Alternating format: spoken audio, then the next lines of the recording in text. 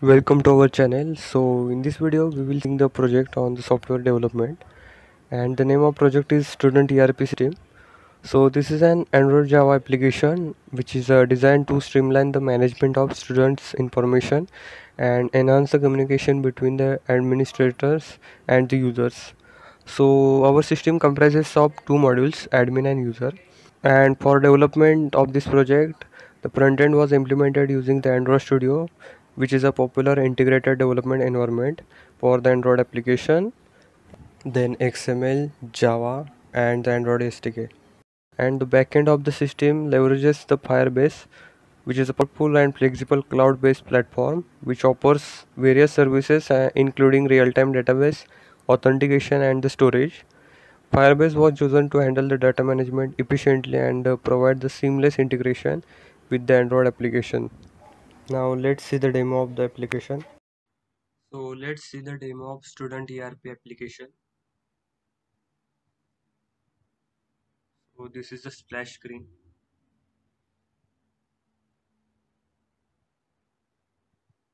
So in this application we have two modules so admin and user module let's first go with the admin module. So here admin needs to register for login the application.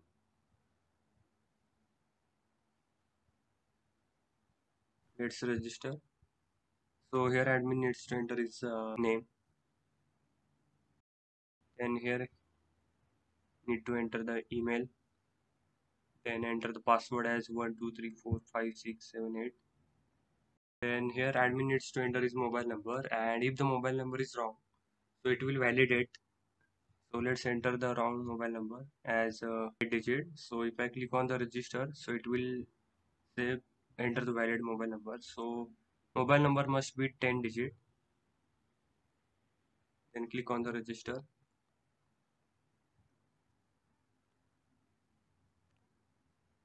So this is our main user interface where we have a different section or we can say we have different modules so that uh, admin can handle according to his requirement.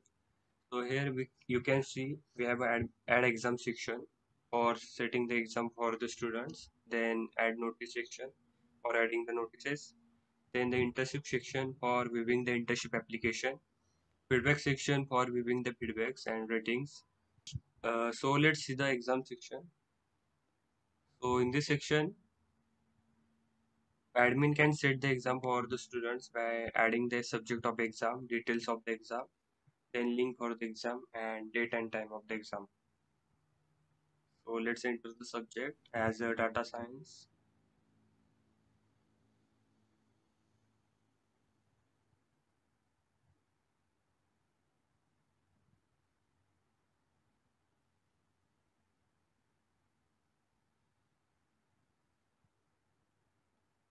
here uh, we need to add the link.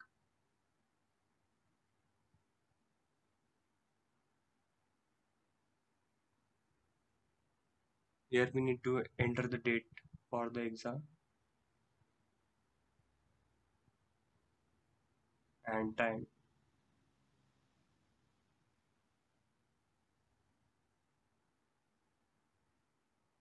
Then click on the add exam button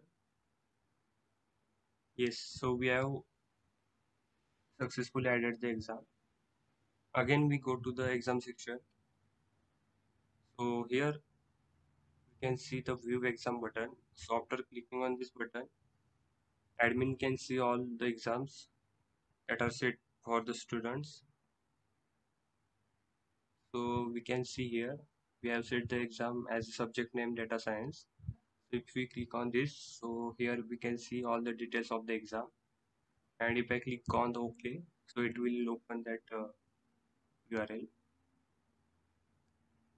and if the admin wants to delete the exam so you can simply click on the delete exam button. So let's delete the exam as a DBMS subject name. So it will ask are you sure you want to delete this exam? So click on the ok. So here the exam is deleted. Go back and uh, next we see the notice section. So here admin can add the important notices. Let's add the subject as a exam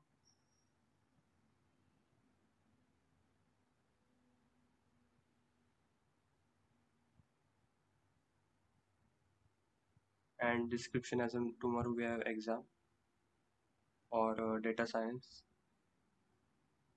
Then we click on the add notice. So after clicking on the add notice it will send the notification to the user side that we will see later.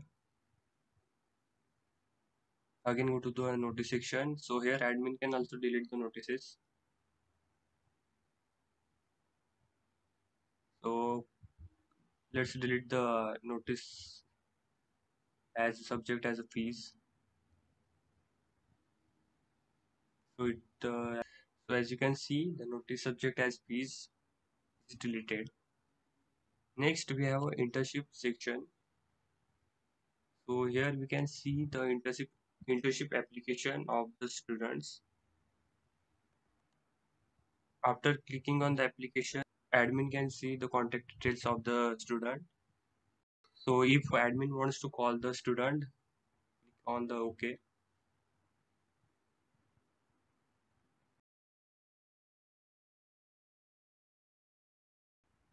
Then we have a feedback section where uh, admin can see the feedbacks that uh, that came from the students. And at last we have a study material section. So so here uh, admin can add the important study material for the students. So let's enter the subject name as data science.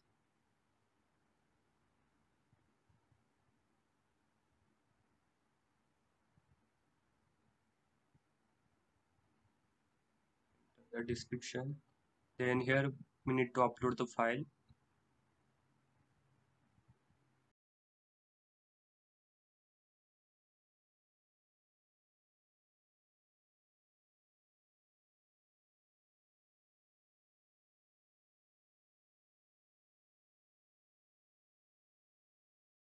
so it will say course material added successfully. And this one is the about section. So this section contains the information about the application. You can also add the details about each module in the in this section in this application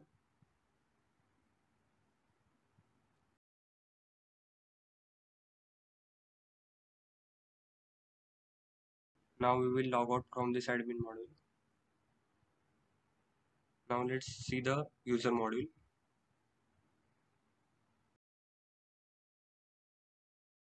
As I have already registered as a user so let's directly enter the login details and login.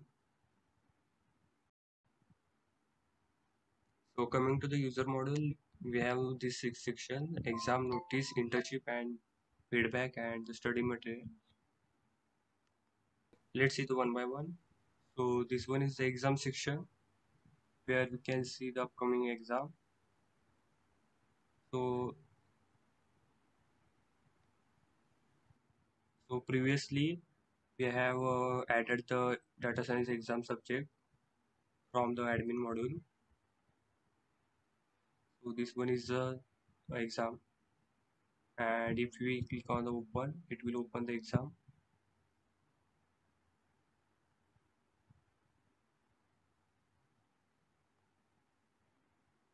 Then in the notice section it will so it will trigger the notification. As you can see this is the notification. Tomorrow we have exam for the data science that we have previously added on the side of the admin module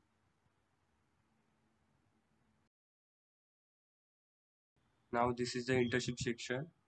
So here uh, for applying the internship we need to select the domain. So let's select the web development as a domain then duration of the internship. Here we need to enter the name then mobile number. Click on the apply now button. Yes we have successfully applied for the internship.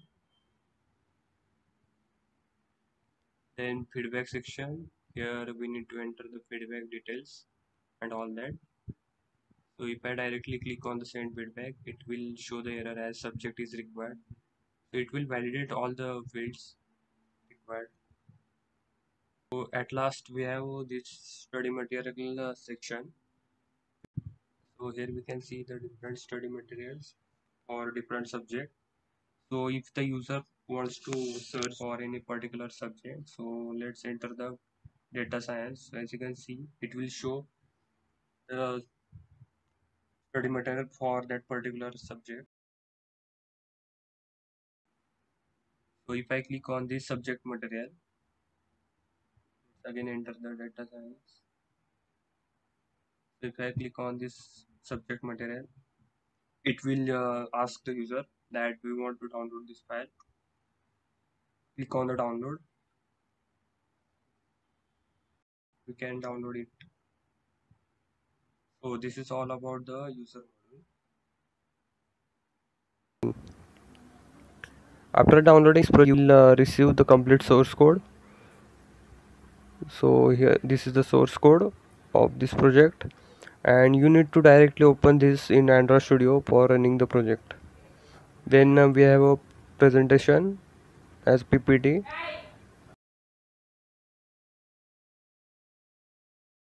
and then the documentation which has up to 50 pages.